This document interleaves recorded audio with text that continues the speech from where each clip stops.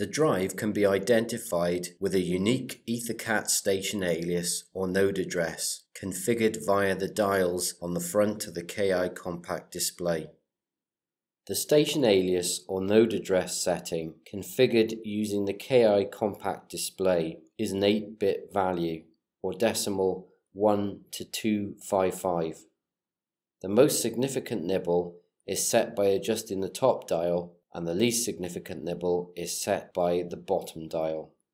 The configured station alias or node address will be set to the sum of the most significant nibble and the least significant nibble in decimal.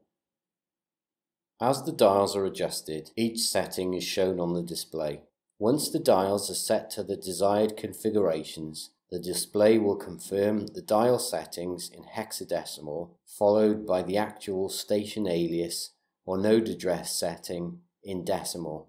The dial settings and station alias or node address settings are separated with a hyphen. Once the desired dial configurations have been set, the KI compact display will transfer the value to parameter 11017 keypad defined node address. For example, to set a node address of 55 via the display, set the most significant dial to 3 or decimal 48 and the least significant dial to 7 decimal 7. The station alias or node address can be configured from the rotary dials of the KI compact display with no power applied to the drive, with the exception of zero value settings. Non-zero configured settings will then be transferred to the drive on the next power up. The KI compact display can be installed or removed while the drive is powered. A delay of 10 seconds should be maintained following power up or following a dial adjustment before the compact display can be removed from the drive.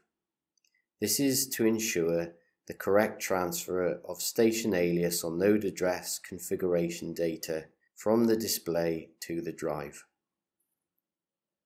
To install the KI remote keypad adapter, unclip and pull the display away from the front cover using a small terminal screwdriver. A slot in the drive plastic is provided for this purpose. The tether keeps the display associated to the drive Align the remote keypad adapter with the display housing and install the remote keypad adapter over the display tether. Push the remote keypad adapter into the housing until it clicks into place. The remote keypad adapter can be removed by unclipping and pulling the adapter away from the front cover using a small terminal screwdriver. To reconnect the compact display, Hinge the display upwards and click into position on the front of the drive.